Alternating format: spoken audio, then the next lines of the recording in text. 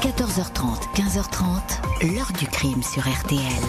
Jean-Alphonse Richard. Ma conclusion est catégorique. C'est bien une seule et même arme qui a tué trois fois à Béziers et trois fois encore quelques jours plus tard dans le Var. Joseph Réco devient donc plus que jamais le suspect numéro un et il devra répondre de six meurtres devant la justice. Bonjour, c'est l'un des plus anciens détenus de France.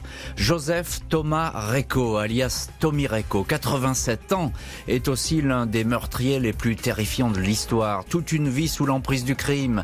Pas moins de sept victimes abattues de sang-froid, hommes et femmes, ainsi qu'une petite fille de 12 ans. Avec Reco, la justice va aussi découvrir l'histoire d'une famille de pêcheurs corses victimes d'une étrange malédiction. Un clan hanté par le mauvais sort, les superstitions et les croyances mystiques. Au total, Reco a passé aujourd'hui 58 ans de sa vie en prison. Il vient une nouvelle fois de demander sa libération et cette fois, il pourrait sortir. Éventualité inimaginable pour certains proches de victimes qui, malgré les années, on va le voir, n'ont rien oublié. Tommy Reco, criminel sans remords, un homme qui se dit innocent comme l'enfant qui vient de naître va-t-il quitter sa prison? Pourquoi, des années après son cas, continue-t-il d'enflammer les imaginations? Question que nous poserons aujourd'hui à nos invités. 14h30, 15h30. L'heure du crime sur RTL. Aujourd'hui, dans l'heure du crime, Tommy Reco, le tueur aux yeux bleus. Fin 1979, début 1980, sa silhouette va apparaître derrière une série de meurtres qui se ressemblent. Ce 22 décembre 1979, à trois jours seulement de Noël, l'hypermarché Mammouth à Béziers ne désemplit pas. La foule des grands jours, une recette record en perspective. Vers 13h30, personne n'a entendu les trois coups de feu successifs dans une petite pièce fermée par un double sas, le local de la comptabilité. Trois femmes, trois employés gisent face contre terre dans cette espèce de salle des coffres. René Chamaillou, 29 ans, Josette Alcaraz, 27 ans, Sylvette Morel, 27 ans. Toutes ont été tuées à bout portant alors qu'elles étaient allongées par terre. Une balle près de l'oreille gauche pour René et Sylvette, une dans la nuque pour Josette. L'arme, un calibre 9 mm, est un revolver 38 spécial ou 357 Magnum, sans doute un Smith Wesson. Le tueur a emporté près de 640 000 francs, des billets en train d'être comptés. Les policiers s'interrogent. Pourquoi avoir donné la mort à trois jeunes femmes qui n'ont opposé aucune résistance? Il est probable que l'une d'elles au moins connaissait le meurtrier. Un homme à qui on a ouvert la porte sans se méfier. Un carton de vêtements est retrouvé dans la salle. Peut-être était-il destiné à être remis à une des caissières Était-ce un stratagème pour accéder à ce local protégé? L'APJ soupçonne un membre du personnel, interroge aussi les proches des victimes, mais aucune de ces pistes n'est concluante.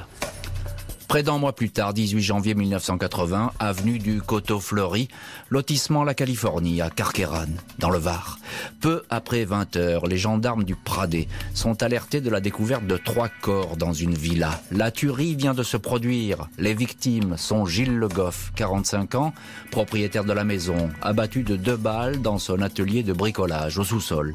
Sa fille Sandrine, 12 ans, ainsi que Jacques Coutrix, 53 ans, un voisin. Ces deux corps repose près de la porte d'entrée. Trois victimes tuées de sang-froid, à bout portant, des tirs dans la tête ou dans la nuque. La petite Sandrine, touchée au crâne côté gauche, est morte lors de son arrivée à l'hôpital. Mais avant d'être abattue, la petite fille a téléphoné vers 19h30, affolée, au bureau de sa mère. Elle est tombée sur la directrice. Elle a dit qu'elle entendait une dispute et prononcé cette phrase Quelqu'un veut faire du mal à mon papa, c'est le cousin de René. La directrice a alors appelé les voisins, les Coutrix. Jacques Coutrix s'est rendu sur place et a été tué. Des coups de feu qui n'ont fait aucun bruit, pas de témoins. Pour le moment, le lien n'est pas établi avec l'hypermarché, mais les quatre balles de type semi-chemisé utilisées à Carqueran sont les mêmes qu'à Béziers. L'arme, ici, est également un revolver 38 spécial ou 357 Magnum. Les enquêteurs se concentrent sur les derniers mots de la petite Sandrine.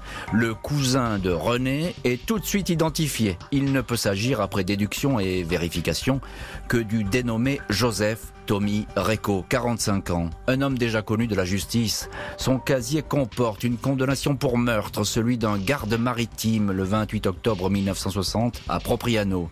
Joseph Casabianca était son parrain. Reco l'avait abattu à la chevrotine, puis lui avait écrasé la tête avec une pierre.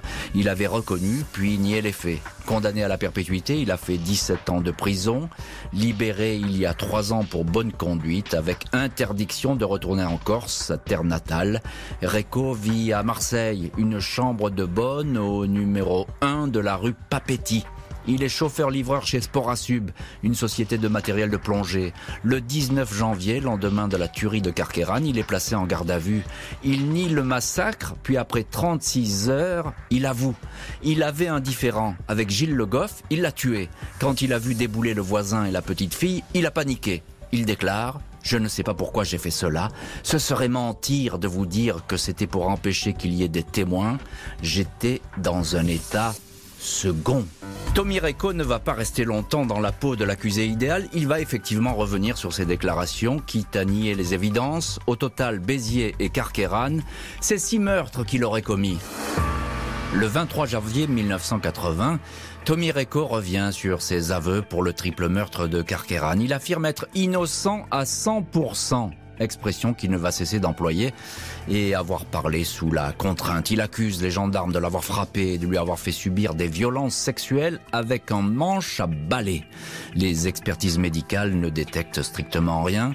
Il a bien un tympan percé, blessure peut-être causée par une gifle, ou par la pratique intensive de la pêche sous-marine. Reco se calfeutre dans le silence. Il nie les faits, mais les enquêteurs accumulent les indices. La boue relevée sous les bottes du suspect est la même que celle du lotissement de Carqueran. Le 4 mars, il découvre un cagibi utilisé par Reco dans l'immeuble où il vit, à Marseille. Un trousseau de clés de la villa des Le Goff y est découvert. Découverte contestée par l'intéressé, il accuse les enquêteurs d'avoir déposé eux-mêmes les clés. Un co-détenu indique enfin que le Corse lui a avoué avoir tué les trois personnes dont la petite fille Reco lui aurait encore raconté qu'il était avec deux complices derrière le carnage de l'hypermarché de Béziers. Les enquêteurs font aisément le rapprochement entre Tommy Reco et l'exécution des trois caissières. Même mode opératoire dans la trajectoire des tirs, des victimes touchées à la tête, généralement côté gauche.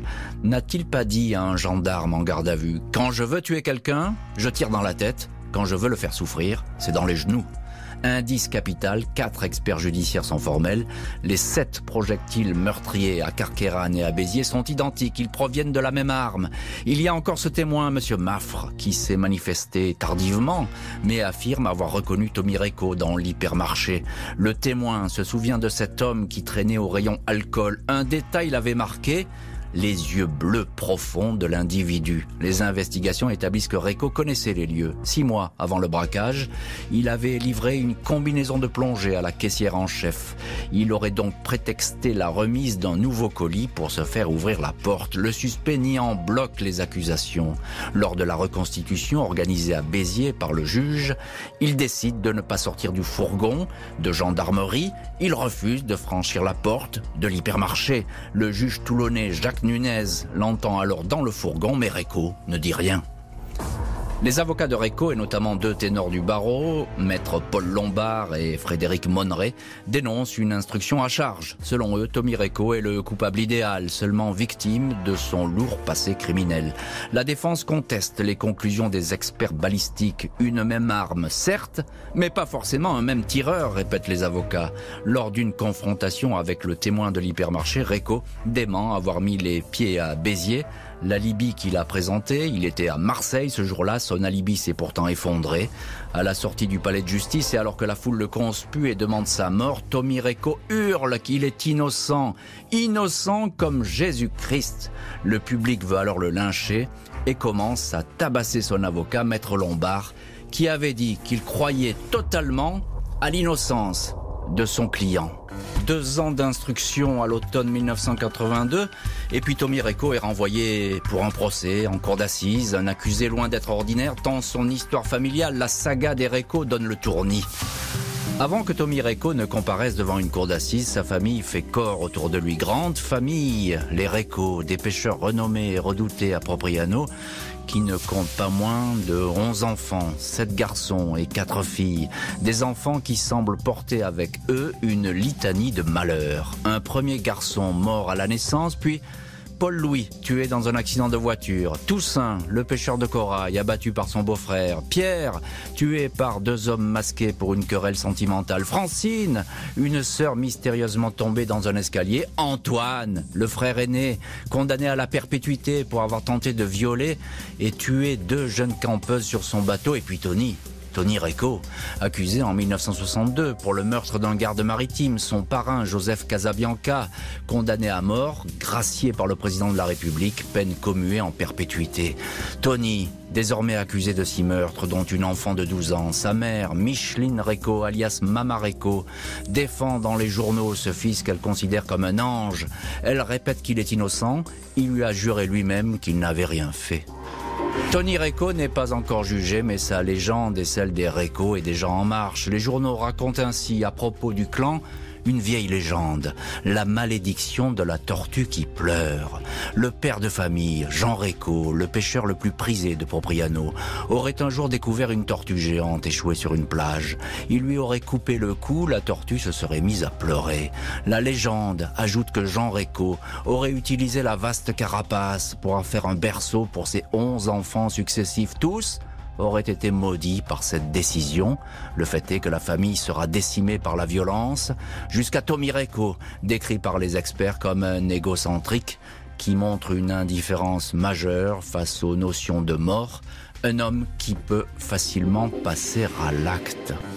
21 ans après sa première condamnation, Tommy Reco, violent, impulsif, ne va pas échapper à un deuxième procès d'assises. La peine de mort a été abolie. Il encourt désormais la peine maximale, la perpétuité. Ce 6 juin 1983, Tommy Reco se dresse dans le box des accusés de la cour d'assises du Var à Draguignan. Il porte un costume cravate, des cheveux noirs et longs qui lui ont valu en détention le surnom de Geronimo. De ses yeux bleus, il fixe l'assistance et les jurés avec une rare intensité, comme s'il voulait foudroyer tout le monde. Le procès n'a pas encore commencé, il harangue des gens le public, il hurle qu'il est un bouc émissaire, il multiplie les allusions à Jésus. Je suis victime d'une erreur judiciaire, je suis vraiment le chemin de croix de notre Seigneur Jésus-Christ. Les familles des victimes sont à bout et veulent la peau de Réco. L'accusé reste de marbre, se met en scène, ni les crimes dits de ses victimes potentielles qu'elles méritent d'être canonisées. Des familles éplorées, qui essaient tour à tour de le faire avouer, mais Réco ne bronche pas. Il baisse une seule fois les yeux après le témoignage de Madame Coutrix, veuve de Jacques Coutrix, tuée à Carqueran. Le 14 juin, après huit jours de procès sous grande tension, au cours duquel Tommy Reco n'a reconnu aucun de ces six crimes, les jurés se décident pour délibérer. Après seulement 1h45 de huis clos, le verdict tombe. Perpétuité, assorti de 18 ans de peine de sûreté. L'avocat général confiera plus tard que si la peine capitale avait toujours été en vigueur, il l'aurait proposé. Sa mère, Mama Reco, qui n'a cessé de le défendre au fil des audiences, quitte à se faire insulter par le public, quitte la cour d'assises en sachant qu'elle ne reverra plus son fils. Celui-ci est alors écroué à la centrale de Clairvaux, où il effectuera la plus grande partie de sa peine. Tommy Reco va passer près de 60 ans en prison. Ses demandes de libération systématiquement refusées. Il espère que sa dernière requête sera reçue favorablement par les magistrats. Les parties civiles, elles, ne veulent pas le voir dehors. Le 1er octobre 2021, Tommy Reco a déposé sa 21e demande de remise en liberté. Toutes les tentatives précédentes avaient échoué, y compris un recours en 2019 pour des motifs de santé. Le rapport médical avait conclu que sa condition physique était compatible avec un maintien en détention. Celui qu'on surnomme Geronimo rêve de pouvoir rentrer en Corse et de pouvoir mourir dans son lit à Pietracorba, un petit village du Cap Corse où son épouse habite. Malgré son grand âge et ses ennuis de santé, la justice considère que Reco est toujours dangereux pour la société. Même son fils Paul-Louis Reco avait déclaré au journal Ouest France, s'il sort, il va encore faire des conneries. Il n'a qu'une seule idée en tête, se venger de ceux qui l'ont dénoncé. Les familles des victimes de leur côté n'ont rien oublié de leurs tragédies respectives. Les années écoulées n'ont pas effacé le souvenir d'un Tommy Reco qui demeure un monstre à leurs yeux. Plus de 40 ans après les tueries de Béziers et de Carqueran, l'affaire n'est pas éteinte. Le feu couve toujours autour de Tommy Reco. L'heure du crime, présenté par Jean-Alphonse Richard sur RTL.